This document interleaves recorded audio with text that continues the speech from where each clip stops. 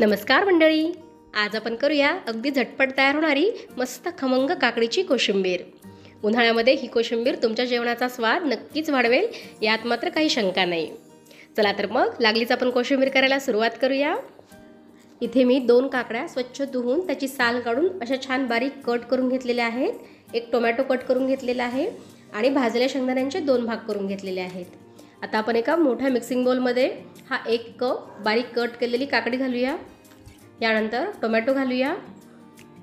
आणि मस्त इथे भाजलेले शेंगदाणे घालूया.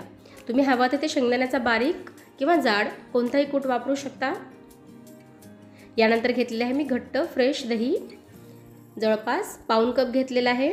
आता आपण एक तर फेटून घ्यायचं आहे किंवा मी इथे दाखवल्याप्रमाणे मी इथे चाळणीवरती घालून त्याला व्यवस्थित चमच्याने मस्त खाली गाळून घेत आहे. यामुळे दही खूप मऊ तयार होते आणि अगदी गुठळ्या राहत नाही त्याच्यामध्ये. अगदी प्लेन दही तयार होते. तुम्ही एकदा नक्की ट्राय करा. असं केले नसेल तर.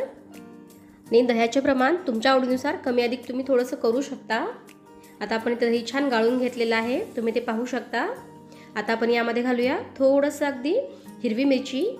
मी इथे बारीक कट करून घेतलेली आहे हिरवी मिरची. हे पहा. दोन हिरव्या मिरच्या घेतलेल्या आहेत मी इथे. यानंतर यामध्ये घालूया आपण भाजलेल्या जिऱ्यांची पूड. मी अगदी पाव चमचा घालत आहे. यासोबतच आपण यामध्ये घालणार आहोत तीन ते चार पुदिन्याची पानं. ही मी वाळवून ठेवलेली आहेत. हा आपण हाताने थोडंसाला क्रश करूया म्हणजे छान पावडर तयार होईल. याचा या कोशिंबिरीमध्ये खूप छान सुगंधाने मस्त स्वाद लागतो. तुम्ही एकदा नक्की ट्राय करा. यानंतर घालूया आपण चवीनुसार मीठ. अगदी थोडीशी आपण यामध्ये साखर देखील घालूया. आणि त्याला छान मिक्स करून घेऊया. आणि हो आता मला ही कोशिंबीर लागलीच खायला घ्यायची आहे त्यामुळे मी इथे साखर आणि मीठ दोन्ही घातलेलं आहे. पण तुम्हाला जर जेवायला वेळ असेल तुम्ही सर्व साहित्य मिक्स करून ठेवा फ्रीजमध्ये आणि जेव्हा तुम्हाला जेवायला घ्यायचं आहे तेव्हा तुम्ही साखर आणि मीठ घाला. नाहीतर काकडीला पाणी सुटून ती खूप पातळ कोशिंबीर होते. तेव्हा जेव्हा जेवायचं आहे तेव्हा साखर आणि मीठ घालायचं आहे. कशी वाटली तुम्हाला याची कोशिंबीरची रेसिपी ते कमेंट बॉक्समध्ये नक्की सांगा.